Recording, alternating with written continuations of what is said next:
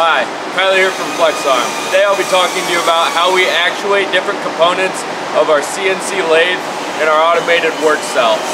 Um, the last video we posted was just kind of a brief overview of what we're trying to do here. Uh, check that out if you haven't yet.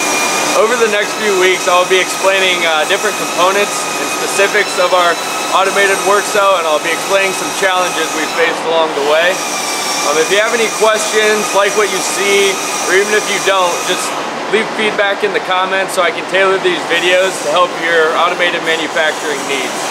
With that being said, let's get started with today's topic, uh, machine actuation. For this setup here on our lathe, we are actuating three machine components. The door, the cycle start button, and the pedal, which controls uh, opening and closing the collet. Our Ready Robot has six individually controlled air ports and uh, I'll show you how these airports are controlled in the program that then control the cylinder that opens and closes the door, the cylinder that presses uh, the cycle start button, and then the, the pedal presser that you can see right here. So here's the manual control for the airports on a Ready Robot.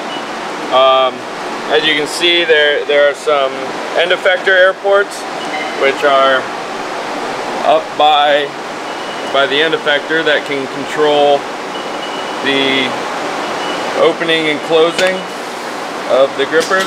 But what we'll be focusing on today with the, the machine actuation is the, those six air ports that I was uh, that you saw earlier. So for example, A1, if you turn that on, that's gonna that's gonna hit the cycle start button in our on our machine. So I'll hit on I'll take you over here and I'll show you that that cycle start button is pressed. This airline, uh, again, connects all the way all the way to that base of the Ready Robot. So you turn it off.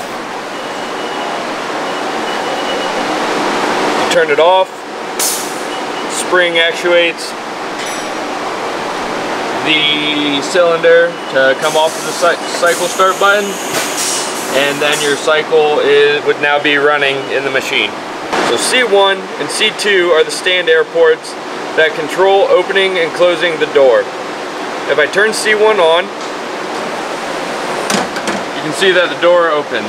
Now I'm going to turn C1 off and turn C2 on.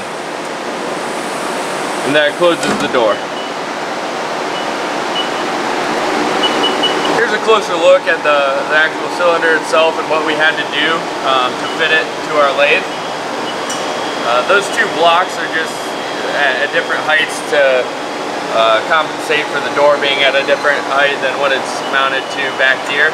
Um, also on there you can see some uh, control valves, some flow control valves that uh, we can dictate how fast or slow the the door opens and closes. So we're not slamming it too hard, but it's also not jogging at a, at a slow pace so we can help keep our cycle time low. I've placed the part here in the collet. The collet's open, so it's, it's free to move in and out. Now I use the robot to close the collet with, by using the air.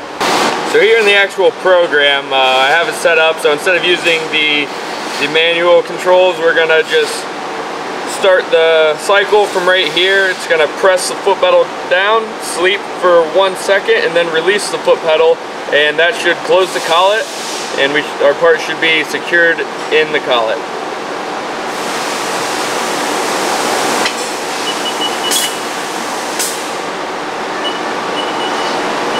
Now let's take a look over here. Part's in there, collet's closed. Can run that again.